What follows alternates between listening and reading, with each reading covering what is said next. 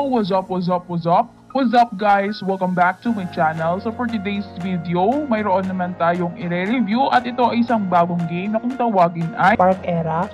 Ayan guys, makita nyo na parang spaceship siya na nagbabattle sila ng enemy. Uh, ito nga, naka-beta test available na nga sila. Pwede nyo nang i-text. So, mamaya papakita ko yung battle yung game talaga nila. So, under siya sa NVIDIA. Kanya makita nyo dito, Firework Games yung website nila dahil nga sa Firework Games siya. At meron, syempre, yung project na sa likod dito is NVIDIA. Alam naman natin na yung NVIDIA ay madaming mga malaki talagang na-contribute yan sa mga like mga TV, pares mga other project na successful na si Brian D. Evans sa Firework Games in Spark Era. Pwede kayo mag-join ng Spark Era game na to para matry nyo at kung ano yung inyong feedback dito. So, ito, role-playing interstellar meta-universe game siya na ang players is makakapili siya ng iba-ibang rules ranging na from magical Geonesis to Cruel Swarm Empires and Top Earth Federation. So, the hero pool of Spark Era is huge and infinitely diverse, unleash incredibility, incredible ability. So, ito yung Interstellar Exploration Game 5. Ito yun naman yung Interstellar Mission. So, meron sa Magka-Mission Mission and E- Eternal Galaxy. So, paano nga mag-play is uh, parang ano siya, battleship siya na spaceship siya na ikaw magko-control tapos napapatayin mo yung other enemies, other ship rin, spaceship rin. Uh, every kill mo yun is mapupunta sa uh, sa number of kills mo. So, powered, ito yung strategic partner nga nila is Amazon at Nvidia. Kaya malaking company talaga yung nasa likod ng Power Games na to. Ito naman yung mga partners nila. So, malaki-laki na rin yung mga partners nila guys. Ayan. So, ayan. And of course, meron yung contact sila sa uh, other social media nila na for i-subscribe sila sa kanilang YouTube, Twitter, and Telegram. Punta tayo dito sa game. So, dito sa game, guys, ayan. So, pwede nyo silang i-download na, guys. Downloadable na siya. Pwede kayo mag-sign up dito. So, you can sign up. Ayan, pwede kayo mag-sign up or mag-login. Pwede nyo rin i-connect yung wallet nyo. Meron dito, obtain spaceship. Kung bibili kayo ng spaceship, ayan. So, dito, pag bibili kayo ng spaceship, meron sila dyan. Sold out na. Ayan, and dito naman is uh, Head to Universe. Pwede kayo And of course, yung mobile, pwede nyo i-download sa Android and soon iOS na rin. User-friendly naman to guys.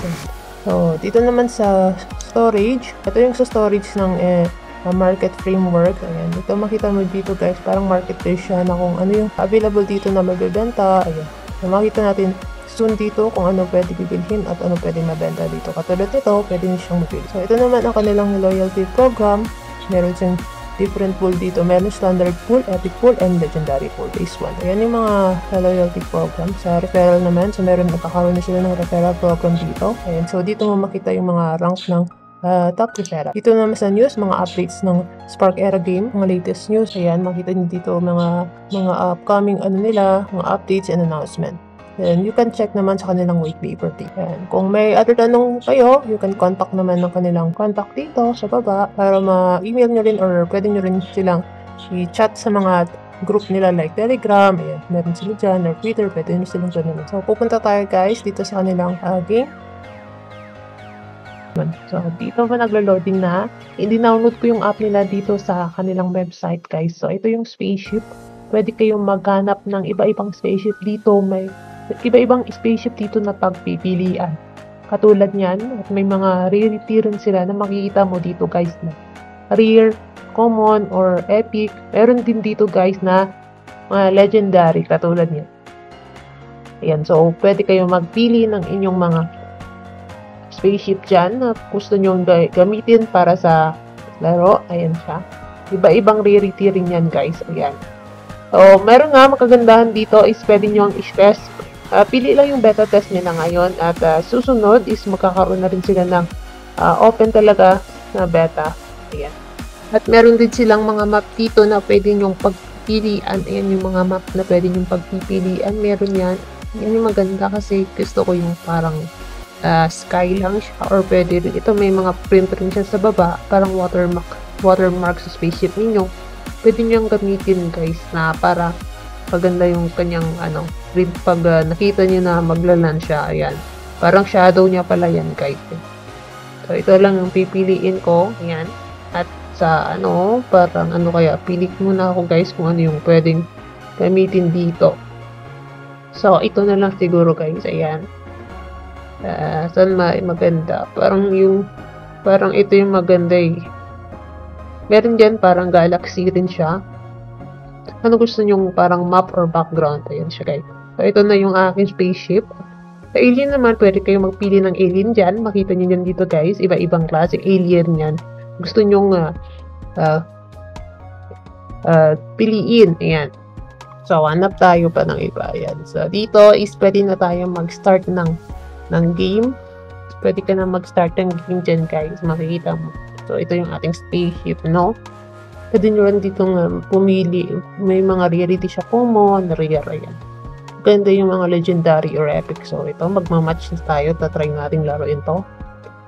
So, maganda tong laruin guys kasi nga is uh, enjoyable talaga tong game na to. Tingnan natin yung at kanyang mga ano dito. Game nila dito guys. So, yung loading na. So, ayan.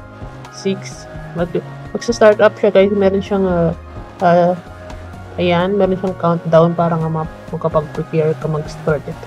So, hanap tayo ng papatay natin. So, ayun. So, makita mo yan mga araw na yan. Yan yung mga kung saan yung kalaban ninyo. So, so dito sa taas, meron ako 50 kami. Wala pang namamatay. So, ito yung targetin ko muna para in case mamatay siya, meron akong 1 kill. Ayan. So, ayun. May mag 1 kill na ako. Hanap pa tayo ulit ng iba. Madami pa sila. 47 na namatay guys. Oh. Kailangan natin makasurvive dito at para manalo tayo. Ay, may, may umaatake sa atin. Saan kaya yun? Yan, saan kayo yung umaatake sa atin? Wait, hanapin natin guys ha. Ay, may, hala, malapit na talaga. Hindi ko na makita yun. Sino kaya yung umaatake sa atin? Inaatake niya tayo guys. Kailangan natin mag, mag ano ng energy. Oh my god. Kailangan natin tumayo. Tumakbo na tayo eh. Ayun, yan yung next ng uh, ano natin. Target natin. Sana mamatay naman siya. Yung ating light na malapit na talaga tayong mamatay. Mamatay na tayo guys. Ay, wala na. Obos na guys. Wala na tayong life. Kailangan, oh, wala na. So, wala na guys. So, gan ganun lang kadali yung guys. Yung uh, laruin dito sa Spark Era. Yan. Maganda nga tong game. So, ito nga yung ating ano. Yan siya guys. Yan yung uh, ating spaceship. Ayan. So, hanap tayo. Ulit dito meron sila dito guys na ano. Na tournament rin kung gusto mo may, pwede kayo mag-check ng tournament mode pero wala pa siya so hintayin natin so na mag-open sila dito sa sound pwede nyo adjust yung kanyang music dito naman is pwede ka mag-pick na kung anong side classing alien ka so ayan i-confirm mo so ito lang yung kanilang games kahit ganun lang kadali kung uh, parang battle lang siya na pwede kayong mag uh, patay ng mga ibang spaceship para dumagtag sa kills ninyo So, ayun lang guys ang ating review sa may Spark Eric game. Malaking company naman nasa likod nito. Ayan. And kung may other katanungan kayo, pwede nyo silang contact dito sa may uh, kanilang social media. Ayan guys. And sa ating uh, video, salamat sa pagpapanood. And don't forget na i-like and share and of course subscribe ang ating YouTube channel para sa more videos pa na susunod.